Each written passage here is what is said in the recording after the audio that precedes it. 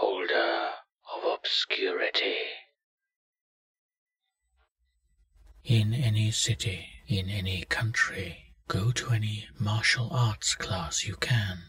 It doesn't matter the art they study, nor the age of the students. You may hope for a children's class.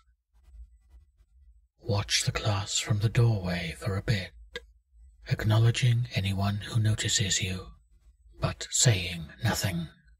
Wait for a moment when all the students are seated, and approach the one who is furthest left in the back of the group. Ask them if they have a rival who calls themselves The holder of obscurity. if the student covers their face with their hands, you've done it right. If not, hope that all you get is a confused look, apologize, and leave, for this battle was not yours to fight. Look around the room now. All the students will be covering their faces, the same as the one you asked, and the teacher will be absent. You may notice the walls have changed. Any decorations they once held are gone. The walls are bland off-white, and the door you came in is gone.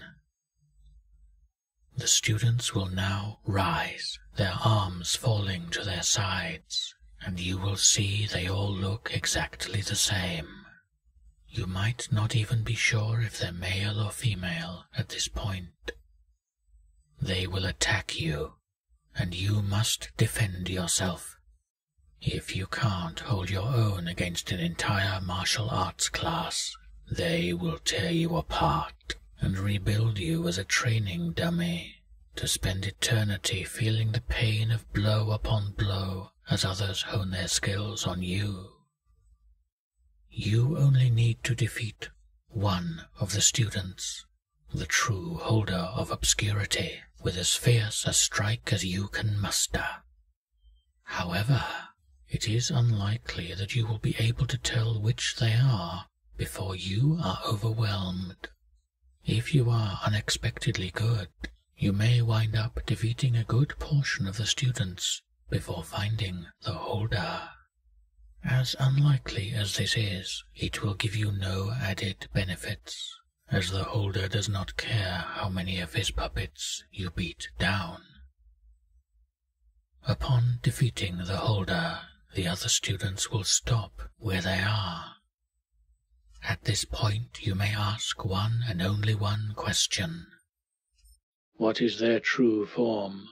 Ask anything else, and the battle will resume for all of eternity until you fall and become a training dummy. Ask the question, though, and the holder will reach up and tear off his face. As he approaches you, you will realize you cannot move an inch. The holder will smother you with his own face, and as you struggle for breath, images will flood your mind of what once was, what will be again. Images beyond description. You'll pass out shortly thereafter from lack of oxygen. When you wake, you'll find yourself sitting outside the school of martial arts you had moments ago entered. You'll notice the feeling of his torn face against yours still persists. Upon reaching up, you'll realize you are masked in a strange cloth, which you may remove. Wearing this mask will make you unrecognizable to any mortal and any holder. What you do with this will be up to you. This mask is Object 465 or 538.